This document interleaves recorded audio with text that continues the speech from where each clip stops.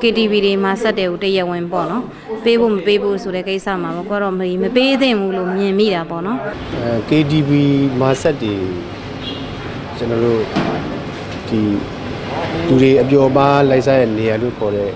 အရာတွေကလိုအပ်တယ်မလိုအပ်တယ်ဆိုတော့ကျွန်တော်တို့ကရှုထောင့်နှစ်ခုနဲ့ပြောရအောင်အဲ KTV မှာစက်တွေနဲ့ပတ်သက်လို့ကတော့ကိုရိုနာမှာဒါစီးပွားရေးလုပ်ငန်းတရက်အနေနဲ့တော့ဒါတရားဝင်တော့လုပ်တင်ပါတယ် အဲ့နိုင်တော့ကိုယ်နဲ့တော့ရှောင်းလဲချက်လို့နဲ့ဆိုတာဒါတီတော့တီနေနေဆိုတော့ဝင်ကြတော့ကိုဆိုတော့အာဒီလုပ်ငန်းကကျွန်တော်အမြင်ဆိုရင်တော့လုံးတင်တယ်လို့ထင်တယ်ဗျ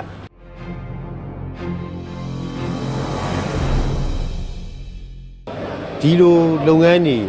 KTV တွေမာဆက်တွေဒါဒါကျွန်တော်တို့ဒီ club တွေဆိုတာဟာတစ်ဖက်ကကြည့်မယ်ဆိုရင် relax လုပ်တဲ့နေရာကြီးလို့ကျွန်တော်တို့ပြောလို့ရတယ်လို့ တစ်ဖက်ကကြည့်ရင်လည်းပဲမကောင်းမှုတွေပေါက်ပွားတဲ့နေရာလို့ပြောလို့ရတယ်အဲ့တော့ကျွန်တော်တို့က relax လုပ်တဲ့နေရာ relax လုပ်တာတည်တံ့ဖြစ်သွားအောင်လုပ်ချင်တော့ကျွန်တော်တို့မကောင်းမှုလို့လက်ခံထားတဲ့မူရည်စီးပွားတွေမကောင်းမှုလို့လက်ခံထားတဲ့ကျွန်တော်တို့ဒီရံပွဲတွေစသဖြင့်ကျွန်တော်တို့မကောင်းမှုလို့လက်ခံတဲ့အကျမ်းမာရေးဆိုင်ရာနောက်ဆက်တွဲပြဿနာတွေကျွန်တော်တို့ရှင်းထုတ်နိုင်မယ်ဆိုရင်တော့ဒါအတိုင်းအတာတစ်ခုကြီးခွင့်ပြုပေးရမယ်လို့ကျွန်တော်ယူဆပါတယ် ဟိုသူကမာဆက်ဆိုထားပါတော့ဗျာမာဆက်ဆိုပေမဲ့သူကမျိုးမျိုးစားရှိတယ်တချို့ကျတော့တကယ်နှိမ့်တဲ့ဟာမျိုးရှိတယ်တချို့ကျတော့လည်းဒီပေါ်မှာလင်းဖြောပြမှုအနေနဲ့ထားတာမျိုးရှိတယ်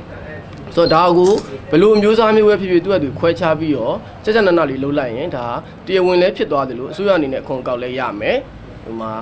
ဟိုနောက်ပြီးတော့လည်းကျမ်းမာရေးအရာကြည့်မယ်ဆိုရင်လည်းကောင်းတယ်ပေါ့ဒါတရားဝင်ဖြစ်တယ်တရားဝင်ဖြစ်တဲ့အတွက်တရားဝင်စစ်စစ်ဟိုဆေးဟိုကျမ်းမာရေးစစ်စစ်မှုပုံမှန်ချက်ကလုပ်လို့ရမယ် ဆိုတော့ဒါတွေကပူကောင်းတယ်တရားဝင်မပေးလိုက်အခုလုပ်နေတာမွားထနေတာဒီ KTV တွေမှာဆက်တွေဟာဘာကြောင့်လဲဆိုတော့အထက်ကစီးပွားရေးသမားတွေအတွက်ဖြစ်တယ်ဒါပေမဲ့ဝင်လုံနေတဲ့မိန်းကလေးတွေက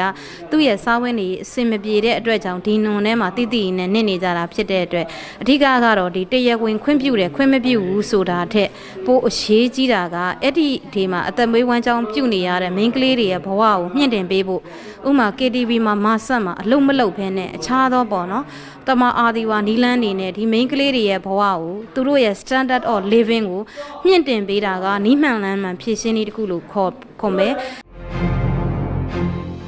ဒါလုပ်တဲ့နေရာမှာတော့နိုင်ငံတော်အစိုးရအနေနဲ့တော့အခွန်ကြီးကြပ်ပြီးတော့သူကအများပြည်သူတွေနဲ့နည်းနည်းအလှမ်းဝေးတဲ့နေရာမျိုးတွေမှာပဲလုပ်တင်တယ်။ဘာလို့ကျောင်းတွေတောင်ကလေးတွေရဲ့ပညာရေးကျန်းမာရေးလူမှုရေးတွေရှိရဲ့အဲ့လိုနဲ့နှီးစက်တဲ့နေရာတွေမှာတော့မလုပ်တင်ဘူး။ဘာလို့ကလေးတွေလမ်းမားကိုရောက်သွားနိုင်တဲ့အပြုတ်မှုတွေက ဒါပြည့်အဲ့ဒေတာတွေမှာအဲ့နေရာလေးတွေမှာသွားအဖက်သွားရိုက်နိုင်တယ်